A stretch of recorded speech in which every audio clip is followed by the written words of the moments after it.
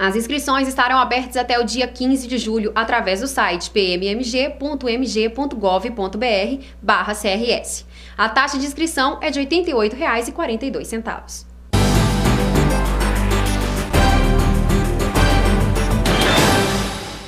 Em entrevista ao órgão de imprensa local, o prefeito de Lafayette, José Milton, declarou o seu apoio aos candidatos do seu partido e coligações. Para deputado federal, o prefeito estará apoiando o vereador Ivar Siqueira, do PSDB. Já para a Assembleia Legislativa, quem contará com seu apoio é o atual vice-prefeito Wilson Tonholo, do DEM. Apesar de uma grande rejeição por parte do governo, os candidatos esperam um incremento na campanha graças ao apoio do executivo.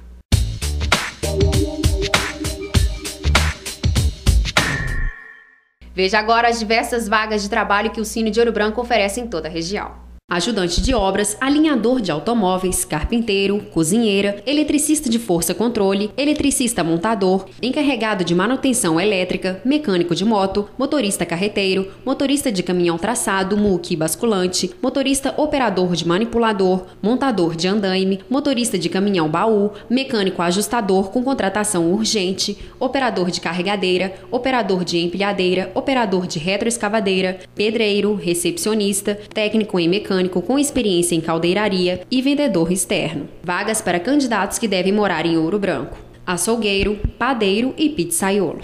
Os interessados podem ir até o Cine de Ouro Branco, que fica na Avenida Marisa de Souza Mendes, número 400, no bairro Siderurgia. Informações pelo telefone 31 3741 5114 ou pelo e-mail cineouroBranco@social.mg.gov.br.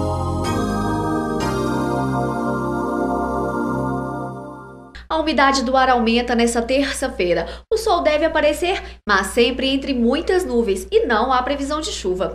A temperatura mínima prevista é de 14 graus em Ouro Branco e a máxima pode chegar aos 25 em Congonhas e Capela Nova. Em Lafayette, o sol deve aparecer o dia todo e também não há previsão de chuva. A temperatura mínima prevista é de 15 graus e a máxima não deve passar dos 26.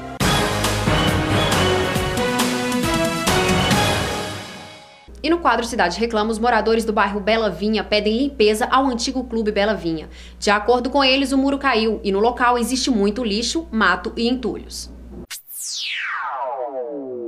E veja agora a reclamação feita pelos moradores do bairro Bela Vista.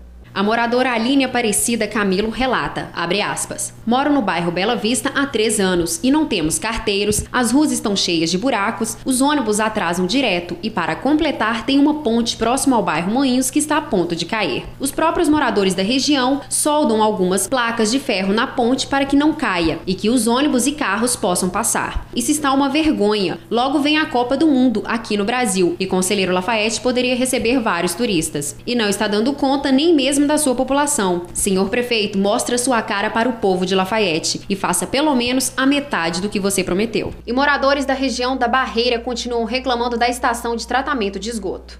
O que era para ser bom virou motivo de reclamação. Os moradores da região da Barreira sofrem com mau cheiro causado pela estação de tratamento de esgoto do Rio Bananeiras. Esse problema se estende há mais de oito meses, causando grande desconforto, principalmente para os moradores do bairro Satélite, a área mais afetada pelo problema.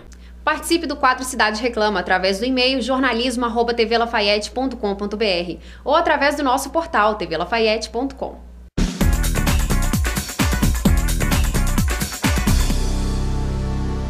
Durante essa semana está em cartaz no Cine Glória os filmes Fúria de Titãs e Príncipe da Pérsia. Veja os trailers. Já viram o que está acontecendo lá fora?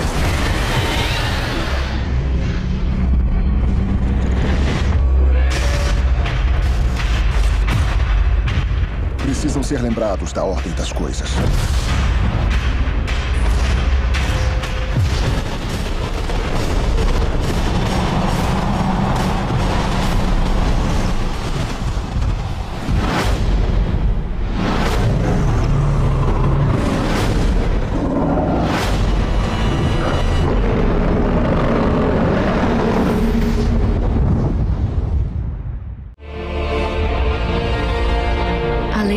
Da força mais poderosa na Terra. As lendárias areias do tempo. Elas estão escondidas dentro de uma adaga sagrada. Há homens que juraram protegê-la. Homens que fariam de tudo para possuí-la.